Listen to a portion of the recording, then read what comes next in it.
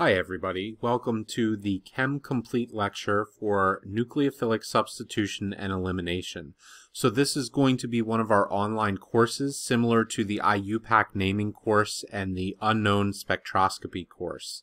So you can expect for all of the content to be covered from start to finish in this series of courses, anything that deals with nucleophilic substitution reactions and the competing elimination reactions. Now, before we get started with the first outline here and the overview of what's going to be taking place during this course, I wanted to mention that you can get the walkthrough guide for this particular course over at chemcomplete.com.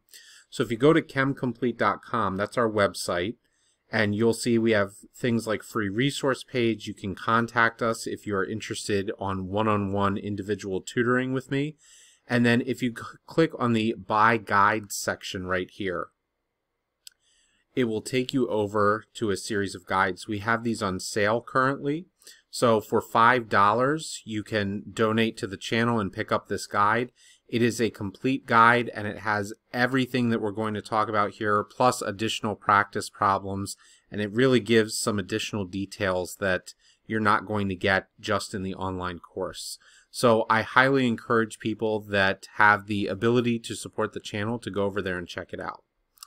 So what are we going to talk about in this particular course?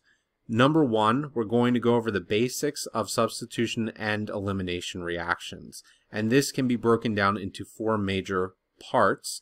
And that is what's going to affect substitution and elimination reactions. We have the leaving group identity, so we're talking about when you look at a leaving group, chlorine, bromine, iodine, that should be TOS, tosylate. And then we have leaving group position, so primary, secondary, tertiary, where the leaving group is actually located on the substrate. We have nucleophile identity, which is whether a nucleophile is charged or neutral, and we'll also take a look at which atoms make better nucleophiles than others, uh, regardless of charge or neutrality. And then solvent is another big one. So the solvent tends to be the one where students get most lost, but we'll be looking at protic and aprotic. And then we have examples of SN1 and SN2 reactions that we're going to go over. We will look at both the conditions, so when all of the conditions align, the solvent, the nucleophile, the substrates, etc., and we will take a look at those mechanisms and the kinetics behind them. Okay, then we'll also look at elimination reactions. These are in direct competition with substitution reactions, so you have to know when to predict whether an elimination reaction is going to occur or if a substitution reaction is going to occur.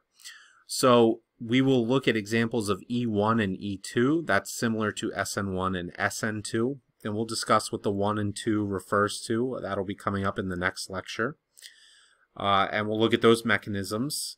And then we will go over what's called the substitution nucleophilic elimination sheet. So that is a cheat sheet that I have created throughout my years of teaching that really helps to identify whether you're going to be dealing with an elimination or a substitution and which one you would be dealing with within that subset. So are you going to, if you have an elimination, are you going to be dealing with an E1 or an E2?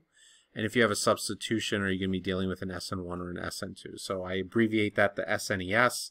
Uh, I am an old school gamer, so that is not the Super Nintendo Entertainment System. That is the substitution nucleophilic elimination sheet.